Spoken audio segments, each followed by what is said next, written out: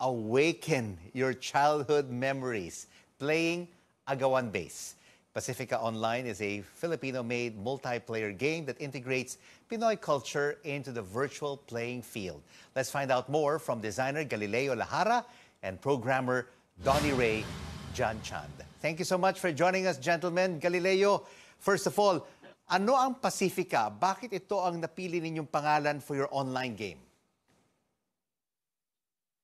Hello, good Okay, evening. yung ah, Pacifica Surico. po ay isang ano, multiplayer online Bakit game. nga ba? Bakit nga ba, G? Inspired po siya.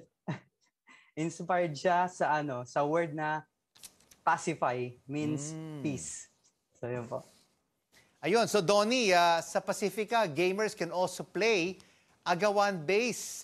Isa sa mga pinakasikat na street games sa mga batang 1990s, kagaya ko. Paano ang larong ito?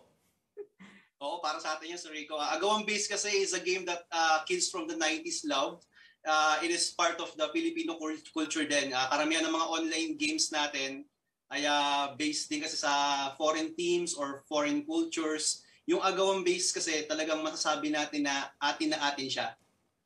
And Galileo, bakit ang Agawan Base ang napili ninyong gawa ng online game? At mahirap ba itong gawa ng laro, ang Agawan Base? Okay, isa kasi sa reason na naisip namin is ano, gusto namin ma-minimize yung age gap. Kasi hindi na pwede maglaro yung mga nanay at tatay natin ng takbuhan sa labas ng bahay. So, Oh, ah, pag naglaro, pag naglaro ba kayo, ah ah, Donnie, ng ah, Agawan Base, kasama ba mga magulang mo? Lolo at lola mo?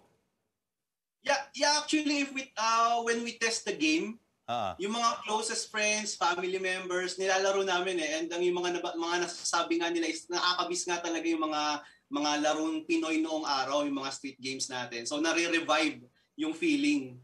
Ayun, na-revive nyo, no, yung Agawan Base. Ano pa mga kulturang Pilipino games ah, ang ah, tampok sa Pacifica? So yun, isa pa lang yung agawan base sa Filipino fe- features dito sa Larong Pacifica.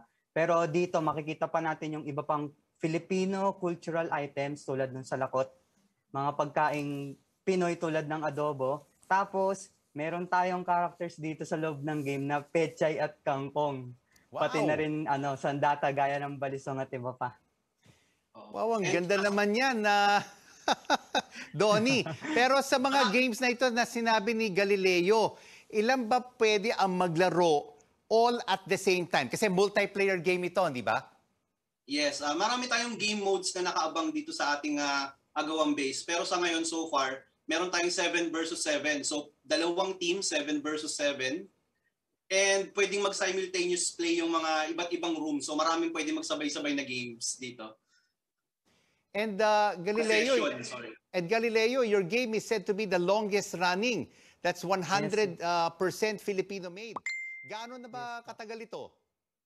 Since October 2010 po kasi itong Pacifica and magte 12 years na po siya sa darating na October. Kaya nung in-announce po namin na magkakaroon ng remake itong Pacifica 2D na magkaroon ng 3D version, eh yung mga supporters po nitong game ay natuwa po talaga. Nako, ako, I'm not into video games, no? Uh, Donnie and Galileo. Pero ngayong ah, alam ko, marami mga kulturang Filipino games sa Pacifica. Baka sasama na ako. Ah, I really love ah, Agawan Bay. So, Donnie, ikaw naman, no? Ilan na ang ah, tumatangkilik sa mga games ninyo? Ah, hindi ko na check yung ating ah, yung yung data pero marami na tayong ah, sa database natin, no, G, marami tayong mga naka, mga users diyan eh.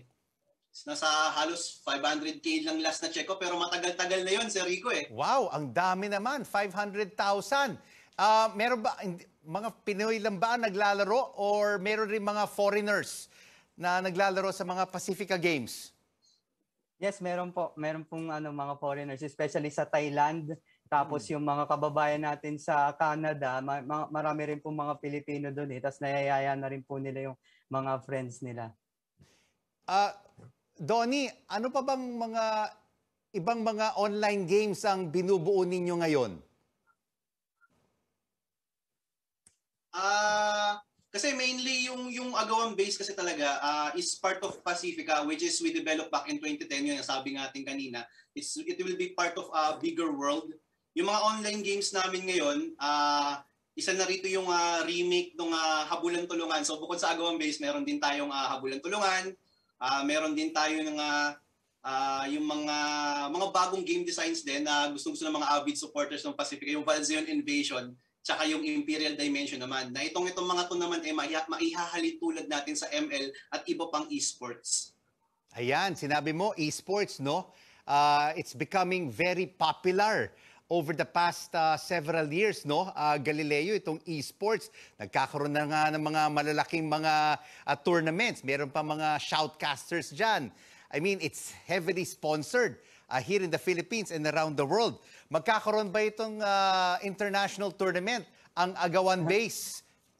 Uh, let's see po, uh, Sir Rico, pero ini-aim kasi namin na yung Agawan Base and other Pinoy games na dine-develop namin na i-highlight itong mga ganitong team competitive gaming. So, as we develop these games po, nila-live stream po namin yan, yung Agawan Base, para mapakita po natin sa mga Pilipino yung ongoing development ng remake and eventually, let's see kung magiging ano siya, esports din. Malay natin, di ba? Oh, hindi ba? No? Maganda yon hindi ba? Donnie, kung magiging esports, magkakaroon ng international esports uh, tournament itong Agawan Base. Ah, Totoo yan, Rico. ah. we Filipinos are very competitive in a good sense. ah. And yun yung gusto nating ah, talagang mangyari na yung, ah, yung mga parts ng Pacifica ah, maging bahagi ng esports din. Maraming maraming salamat sa inyong dalawa and good luck uh, with all your Pacifica games. Pacifica online designer, lead programmer Galileo Lahara, and programmer and music composer Donnie Ray Jianchand. I'd like to play Agawan Days. I remember uh, playing that during my younger days.